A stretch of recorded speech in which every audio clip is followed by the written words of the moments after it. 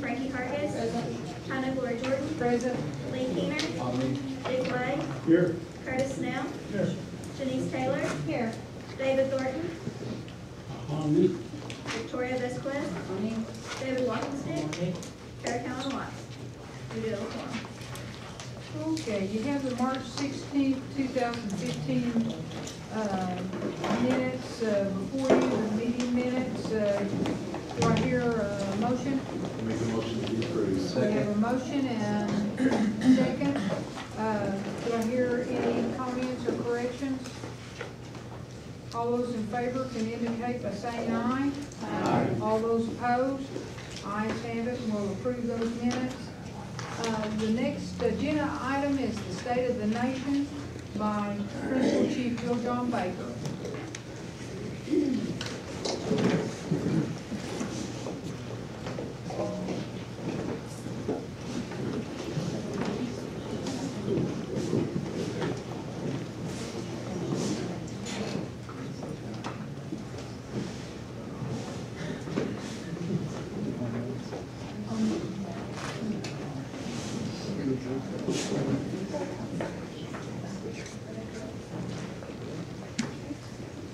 Well, welcome.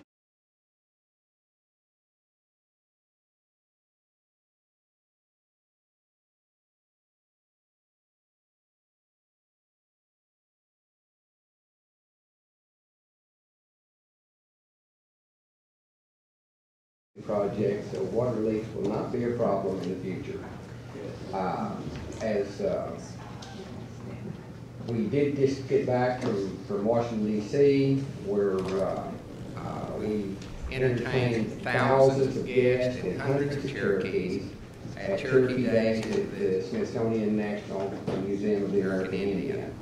Uh, the, uh, cherry blossoms were in full bloom, and a good time was had by all. And the Eastern Band, the UKB, the Cherokee Nation all came together to help tell our story and share it uh, with a, a good number of people. The, we're in the process of restoring uh, the Capitol building of the Cherokee people, where they are stripping the old paint off of the uh, uh, the brick, that was the only solution we had uh, a decade ago to protect it. Uh, But now they have the technology and we have the money to retuck the brick, uh, re-grout the, the, the brick, so that hundred and fifty years from now, it will be there for our great, great, great grandchildren uh, to enjoy and see what our ancestors did hundred and fifty years ago. Very proud of that project. Uh, This uh, week ago, ten days, we had the uh, Public School Appreciation Day, and we were able to share over four million dollars with hundred and seven school districts across the fourteen counties. The, uh, also, we had a wonderful employee appreciation event uh, that fe- featured not only the Pumpkin Holler Boys, but uh, Stoney LaRue, uh, and a good time was had by all. Deputy and I were able to uh, share with the uh, Child Development Center uh, with their Learn and Grow Garden Project over in Stilwell. Uh, I think the kids are really going to have a good time uh, growing their vegetables. And uh, uh, let's see, Fr- Frankie joined us, and Frankie joined us. Okay, sorry. Tonight, we'd like to take a moment, and I'd like to introduce you to some fine young Cherokees. And as I call their name, if they would please just stand, come forward right here. Uh, The first one would be Tennessee Loy from Tahlequah. These are going to be the participants in this year's Remember the Removal Ride. Charles Flint, Tahlequah. Caleb Cox, Miami.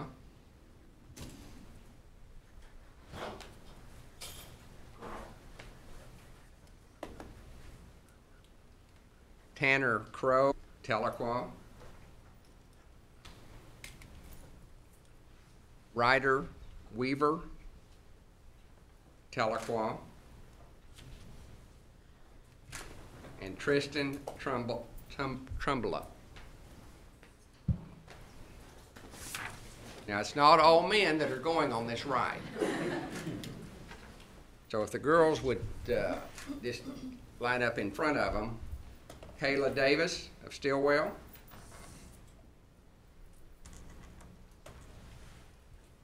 Maggie McInnes of Hulbert. Alex Watt of Afton. Haley Seago of Claremore. Haley Cavanis of Tahlequah. And Shauna Harder of Tahlequah. Give them a big round of applause.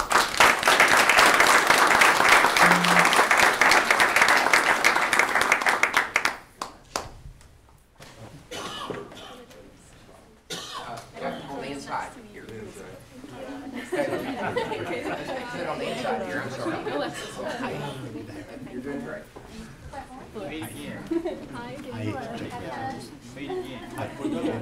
I'll be seeing the work.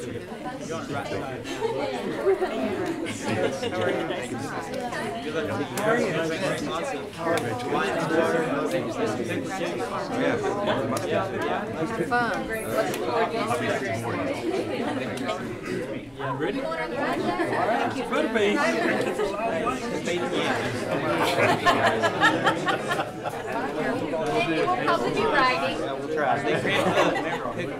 Old Indian trick. Same way they're writing. Thank you. Hey,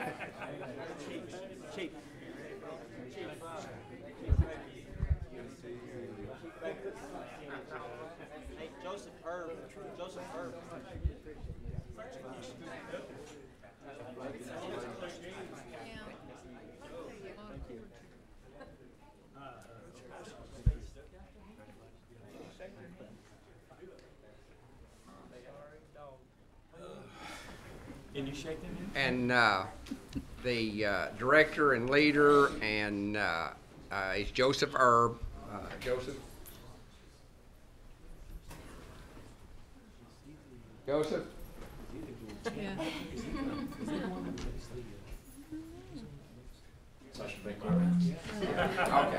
We're done. I want Take good care of them. Yeah, thank you very much. Well, don't. And here we go. You're a brave man. And I can tell you, Joseph uh, was on the ride. Let them bite it.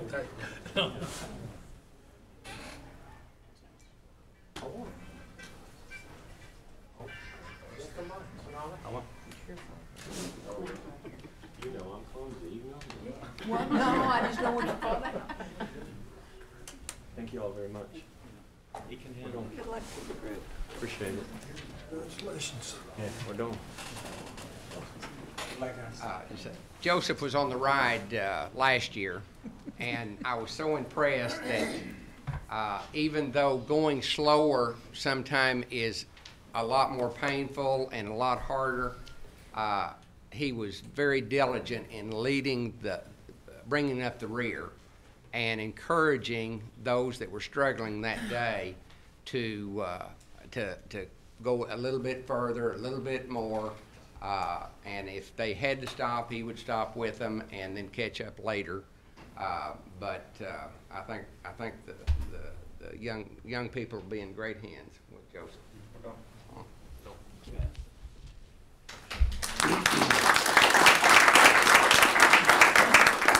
Uh, we have Cherokee Nation citizen uh, Wes Nofire, who is making his Showtime boxing debut on Saturday, uh, April 18th at 7 p.m.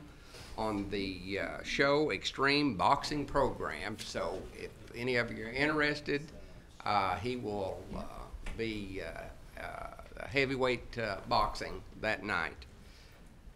We come to the part of the program that we we always take a little time out to to recognize the Cherokees that were with us last month that are no longer with us this month, and we'll have a moment of silence when I finish.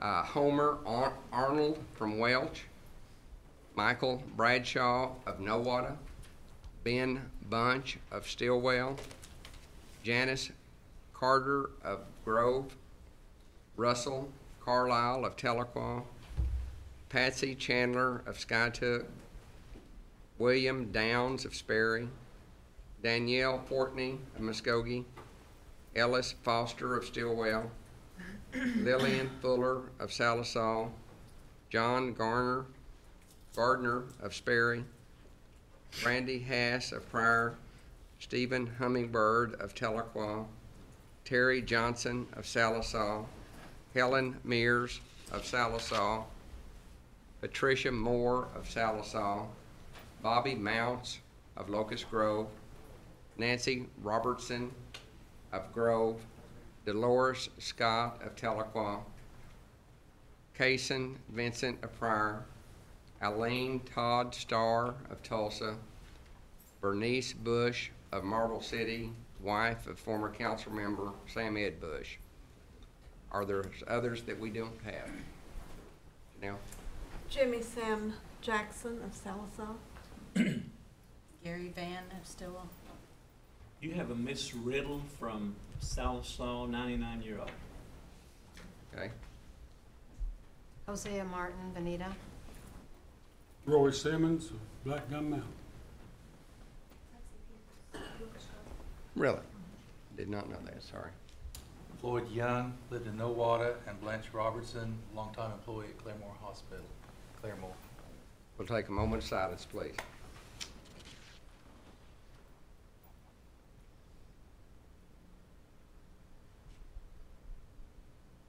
Waddell?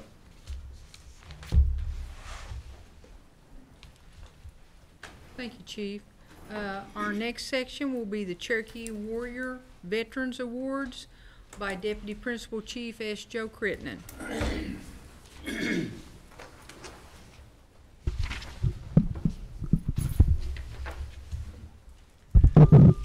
Thank you, Madam Speaker.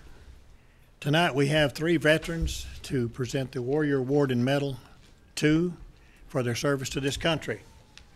Our first veteran tonight is a gentleman named Donovan Duncan. Donovan, would you come forward? Let's give Donovan a hand, please.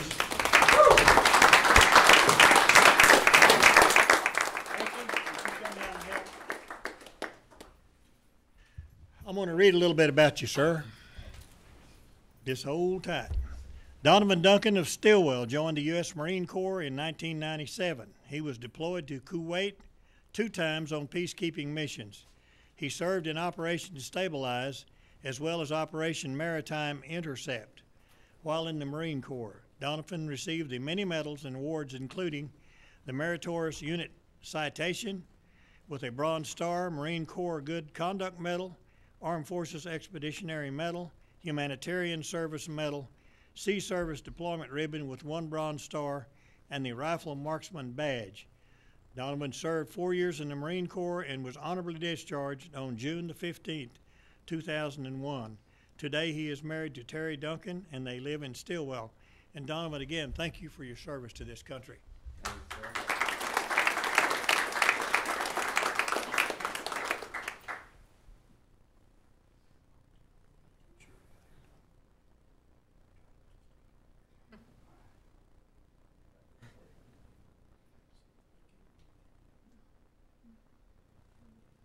Thank you for your service. Appreciate you. Just stay where you at. Yeah, we're going to get a picture.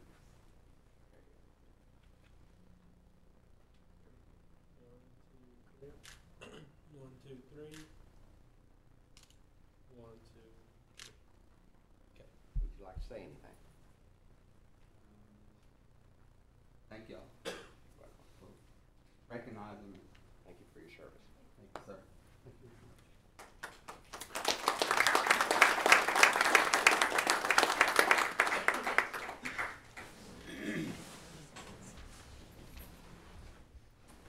Our next veteran is Rusty Henson. Rusty, would you come forward, please?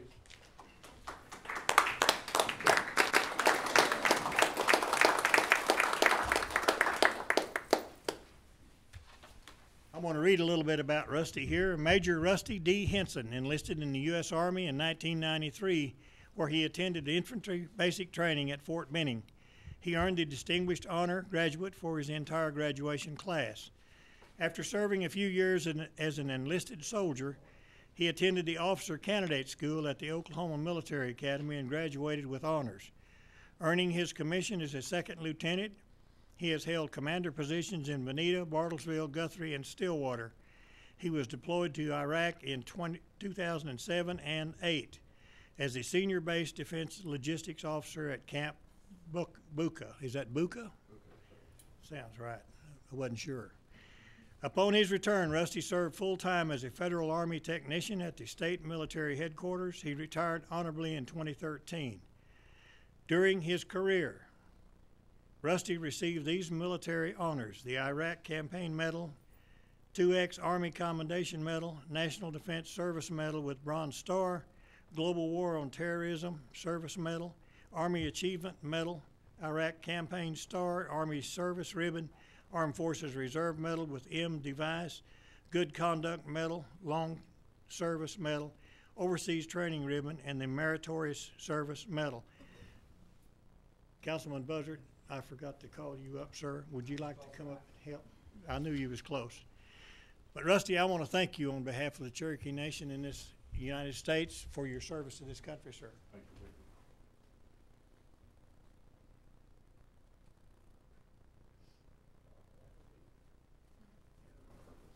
Those T-shirts are tough. Thank you, sir. Appreciate your service.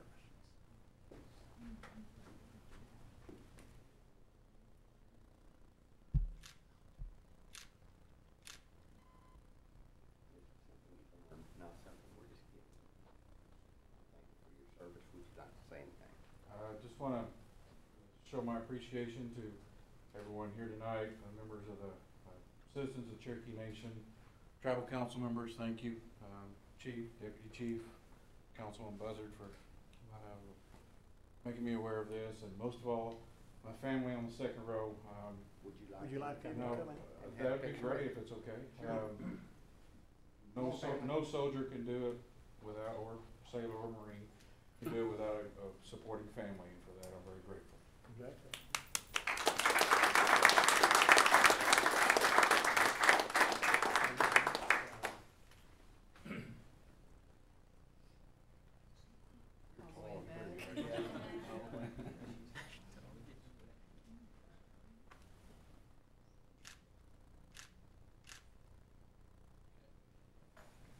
Thank you. Gary Cooper. He's famous. Oh, I'm sorry. Yeah.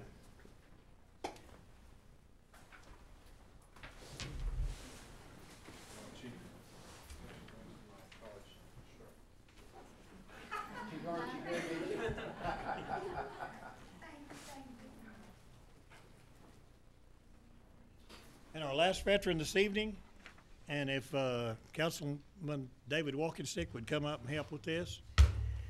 Jay Silk. Jay? Let's give Jay a hand.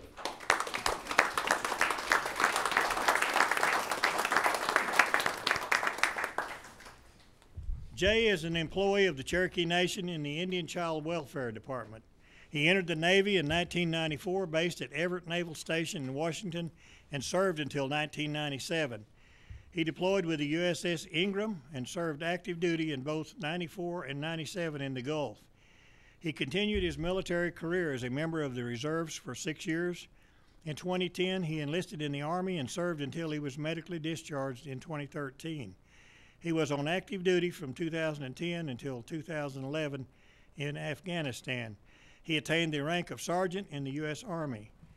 He received the Afghanistan Campaign Medal with Campaign Star, Army Commendation Medal, Purple Heart, National Defense Service Medal, Armed Forces Expeditionary Medal, Southwest Asia Service Medal with Bronze Service Star, Global War on Terrorism Service Medal, Army Service Ribbon, Armed Forces Reserve Medal with M device, U.S. Navy Sea Service Deployment Ribbon, Southwest Asia Service Medal, Second Award, Combat Action Badge, and Marksmanship Badge.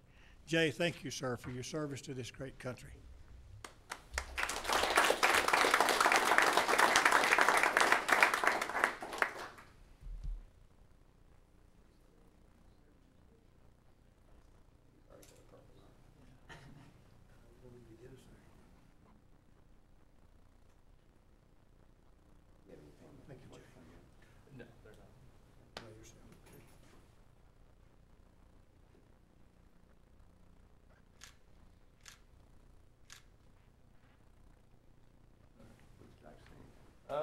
it's an honor. Thank you. Thank you very much. Thank you.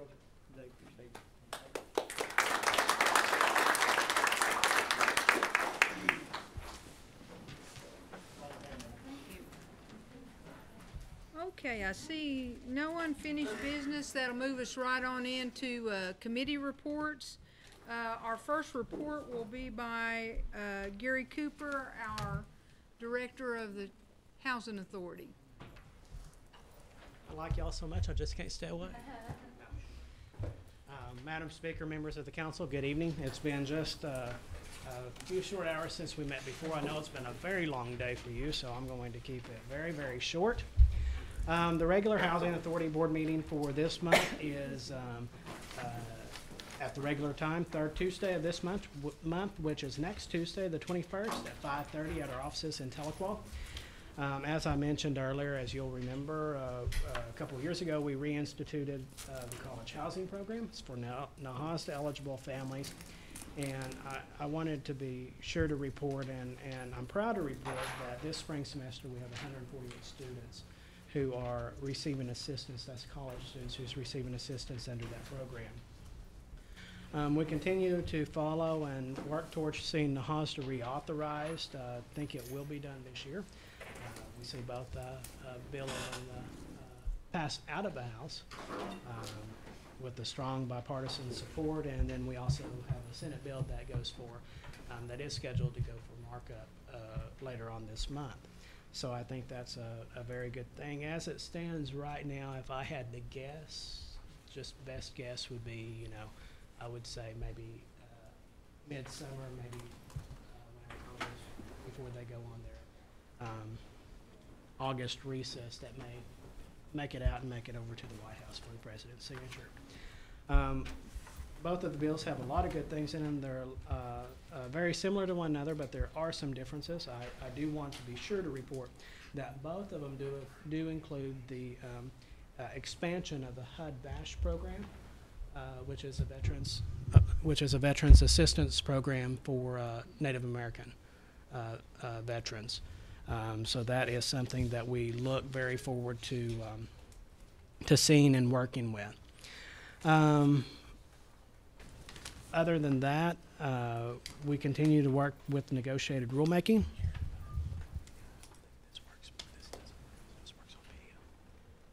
Um, the other thing is uh, we continue to work with negotiated rulemaking to get um, uh, uh, that process finalized for the formula, and then uh, we will move on into uh, uh, probably the other regs if uh, NAHASDA gets reauthorized this year.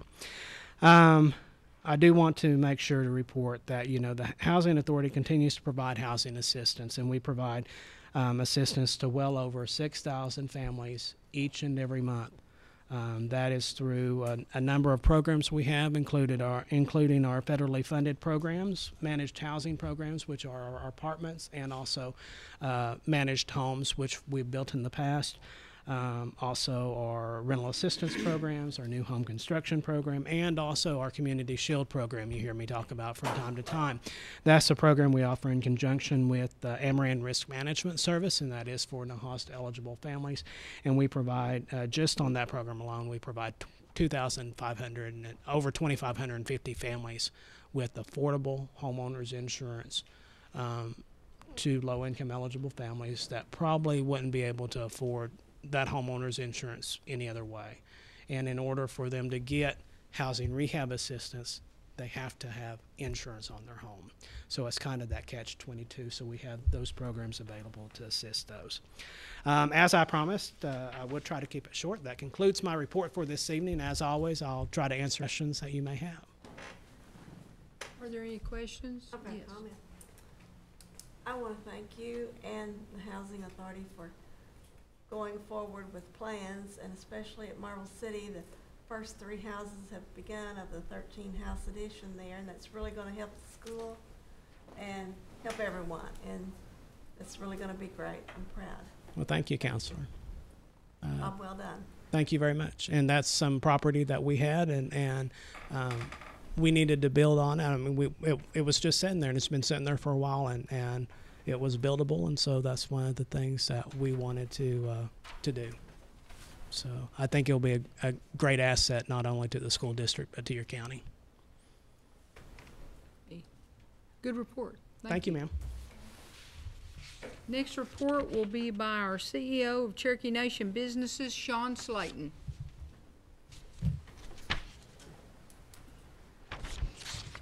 Good evening, council. Be reporting on February, and uh, we had a net income of $13 million for the businesses at the end of February. Very good month. That was a million nine above budget and a million six more than uh, last year. So uh, business has been strong and, and continued to be strong in March. Uh, January, February, and March are usually our historically our, our biggest months, and then it kind of tapers off through the summer and comes back strong in the in the fall and uh, early winter. Uh, we also collected $280,000 and remitted that to the tax commission in additional taxes. Uh, projects that we've got going uh, on the health clinics, the Redbird remodel is nearing completion. Uh, Ochelata, we hope to uh, turn over by the end of uh, the month, and Jay and Stilwell uh, by the end of May. So those are all in the final stages of wrapping up, and uh, I know everybody will be glad to see those open soon. Uh, down at Roland, I'm happy to report that on our casino that that is really moving along. I haven't been in it lately, but I'm told that it really looks good inside. So I think everybody's going to be proud of that uh, final product. There are two job fairs that are coming up in April, one on the 18th and one on the 24th down there. And uh, my understanding is that they're going to be held at the off-site warehouse, and they can contact the HR department, Employee Services Department there to get more details uh, of the times and the exact location for that. Um, Our housing up at Siloam is making progress. They've got the, the gravel down for the roads, they've got the utilities in, the house pads are there, and uh, we would have uh, been making more progress on that had the pads not been so wet the last couple of weeks. And uh, as soon as they dry out, they'll begin to uh, put the foundation in and, and get going there. Down at Roland, it's been a, a washout with uh, the uh, weather down there as well. So we'll get uh, to that just as soon as it dries out enough for construction to, to begin there. Um, on our employment numbers, um, for the month, we're at uh, 73.8 for Cherokee on the businesses that we can practice a preference. Um, 7.9 other Native American for a total of 81.7% Native American. And uh, that's my report, and I'll be happy to answer any questions. Any questions? Mr. Thornton? How are you doing, Mr. Slaton? Doing good. good. Uh, is there any way that you could probably get me a, a balance on the Redbird Clinic, on the rehab and the uh, addition, to knowing, uh, how much revenue we owe on that? Sure, I'll, I'll get with you tomorrow and, and uh, get, get exactly what you're looking for. Thank you. You're welcome. Right. Yes, Mr. Lay. Thank you. Madam Speaker, Shawn, the, the number of houses that you anticipate at each location, do you have any? Uh, Yes, sir, and Mr. Garrett's here tonight, and he can probably give us a more e- exact number if the speaker will let me defer to him. Chuck, why don't you come on? Twenty-nine at West Siloam and twenty-three in Roll. Thank you. Yes, Mr. Buzzard. Uh, Those twenty-nine at West Siloam Springs and at Roland? Yes, sir. Have we already got occupants for those houses? I'll defer that to, uh, I'm not trying to dodge everybody tonight, but I'll defer that to Gary because we're building them. They uh, go through their process to get, the select the occupants over at the Housing Authority. So I don't, I don't know the answer to that. Gary here? Right, we'll catch him later. But uh, I don't think we'll have any problem with West Siloam Springs because uh, I've heard housing is really, really short. I've also heard that there's some excitement about us building houses. I don't anticipate any problems with getting people in. Yeah, we, we don't either, and, and, uh, uh, we're looking forward to them being occupied. Yep. Thank you, Madam Chair. What, Yes, just to follow up? yes, Mr. Madam- Lay. If I may, so CNB's building the houses. Mhm.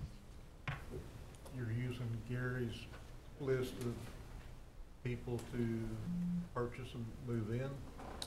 Uh, Is that what I'm hearing? Yeah, I think it goes through that process, whatever their, the process is there. There's two lists that Gary has. One is if you own your property, and another list that has come up that if you don't own your property. So as I understand it, they're gonna build twenty-nine homes. They'll start through time and date of people that said that they wanted a house, but they did not own land. Now, all of them are not gonna wanna live in West Siloam Springs. But the ones that do, it's first come, first served, time and date on the list. Well, we've got Ramona, we've got South Coffeyville. We do. We've got Catoosa. And we will have another soon, so And, and quite honestly, the, how many houses did you build at, at Nowata? Uh, Eleven? Eleven, and it was done that very way first. Mm-hmm. We built eleven homes there, time and date of the people in that part of the, of the Cherokee Nation. It, as I understand it, Mr. Lay, they designate the area that they would like to get a house in if they don't have land. Yeah, they designate a county, and then we narrow it down by that way. For instance, um, are we talking about West Siloam? Yes. For instance, in West Siloam, what we would do is, because it's right there on the county line, we would merge the, uh, the waiting list together for Adair and Delaware County, and we would work on, uh, finding families to take those. And every application we, we collect is by date and then time of application, so as everyone's assigned a number. And that's how, that's how it's placed on the waiting. Um, so either they have land or they don't have land, so we're able to, to track that. So we will take those, take those, uh, um, run a waiting list for folks who don't have land for Adair and Delaware County and ask them if they would be interested in those. And then either we would find enough or we wouldn't find enough. I can tell you that we have uh, sent out about hundred and forty-four letters, uh, just to see what the interest is. So we do, we do a, a mass type mailing. Okay, other questions? Mr. Keener? Thank you, Madam Speaker. C and B is the contractor on these homes, is that right? Um, In, in a sense, we're using the same that we built the clinics with, uh, Cherokee, uh, Cheryl's group. So it's not in the NAHASDA funds or, okay.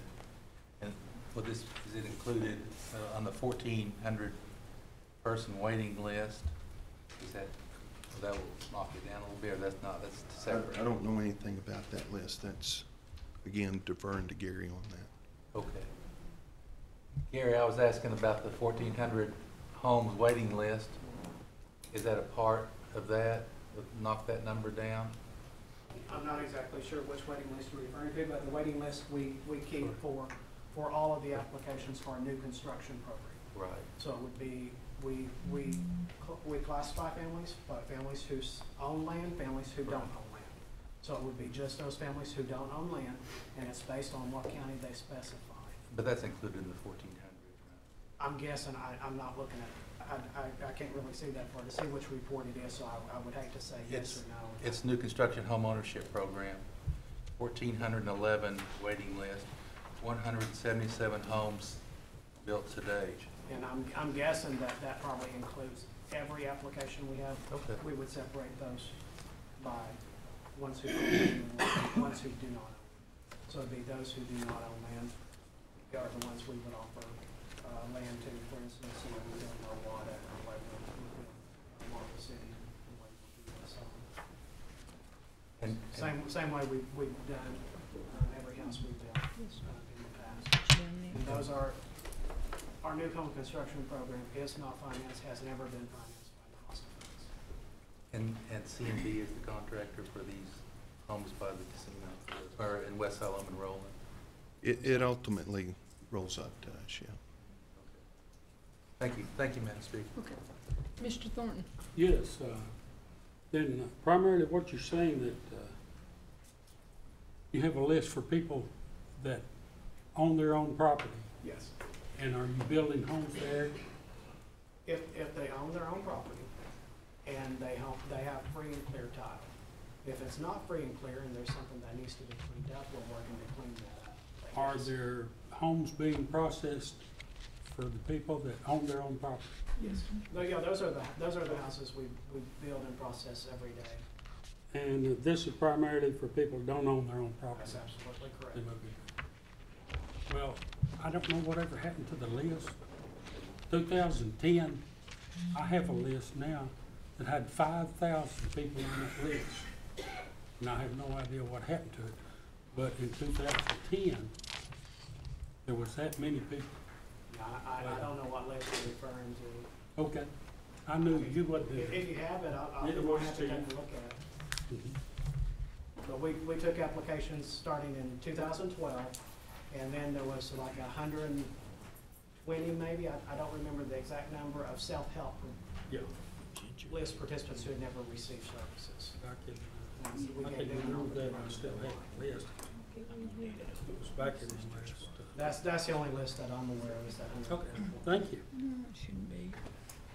Mike, just for the council's knowledge and information, um, there are seven hundred and fifty-three houses in the works in some part of the process, and that includes all of the usable land for people that came in with land. And now they're trying to work the list of people that didn't have land. And if you all will recall, several times during committee meetings, I have suggested to you, if you know of a suitable piece of land at a reasonable price, you need to see this gentleman because he's looking for land. We can't buy it any higher than appraised price though, and that's why these people have come to us because they couldn't find any land either at a reasonable price. So we've got to try to find it as best we can. I think there was a suggestion today, talk to your city officials to see if they have some vacant lots that maybe they would be willing to work with the housing authority so that we could put some houses for their citizens as well as our citizens on those lots. Land is hard to find in, in smaller pieces and our citizens don't always like to live up close to each other. They're no different than any other, uh, any other citizen. They kinda like to be out by themselves at times, so land's kinda hard to find. Um, we need to all jump in and help as we can.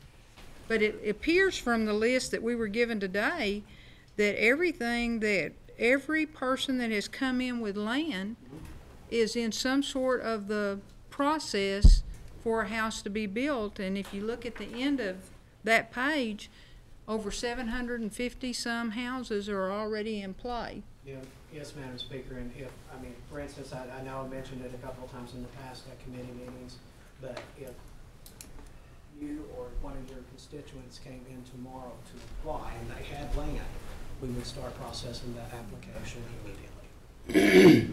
There, there is no, I mean, they, they still get assigned a number, but theoretically, there's no waiting list because we're processing those just as soon as we get them. I know, I know my citizens appreciate the program very much. And I appreciate you all giving a good report. Thank you.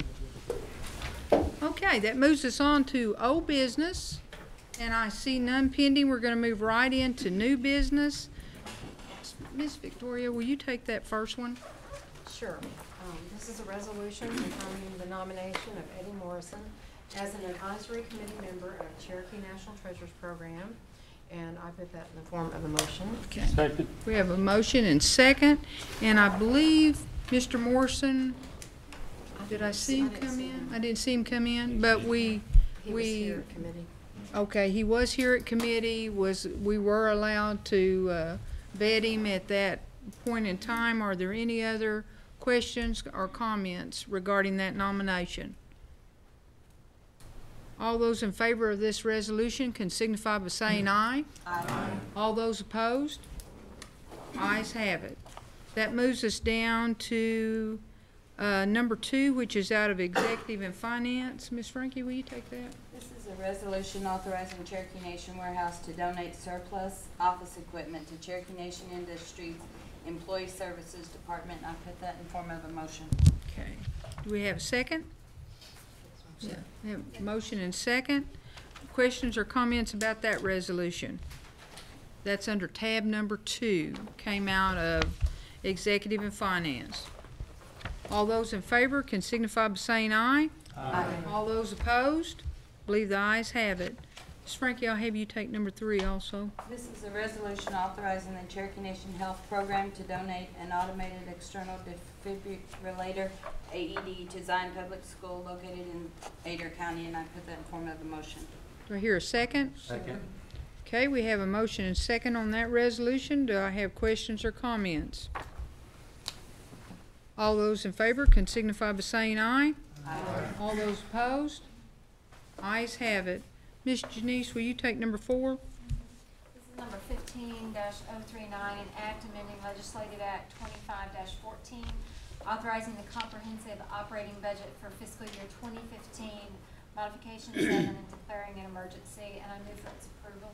I will second that Okay. with the, asking that it be done by acclamation. Okay, we have a motion and second and request by acclamation. Questions or comments? All those in favor then can signify by saying aye. Aye. All those opposed? Ayes have it. That budget mod will, I guess Miss Lacy, I don't know where she's at. There she is. She can go about her business now. All right. Those are the four items that we had as business items. All were thoroughly discussed, I believe, in committee. All have passed. Are there other announcements to be made? I have one short announcement. I would like to commend the, the Cherokee Nation staff, uh, C and that were at the uh, Cherokee Days in Washington DC. Uh, they really represented us well there. I bet we had close to fifty people there, and the director of the museum, which is uh, Kevin Gover, uh, came to us and said that that was the, the, the largest crowd that they have had, that when the Cherokees come there and make it Cherokee Days. So we did this last year, we were invited back this year, and I think the numbers were even up. So I asked for some numbers on, you know, the, how many, how many more came through the museum during the Cherokee days. I also asked for the bottom number, because the traffic count there was just unbelievable. Uh, Molly Jarvis, uh, Linda Taylor from Gift Shop and her staff, they were there three days, and they, they really represent us well. Uh, then we had seven national treasures, including, uh, Councilmember Victoria here. And Councilman Baker was there, and Councilor Coates was there, but it was just good representation from the three tribes, UKB, Eastern Band, Cherokee Nation. They're in DC for three days. We were really well represented there. So I just wanted to commend the staff from these groups here that were there and took care of Cherokee Nation. Thank you, Madam Chair. All right. Do I hear a motion to adjourn? So moved. Second. Second? All those in favor signify by saying aye. Aye. We'll see you again on May eleventh. Thank you. General Washington. Yeah.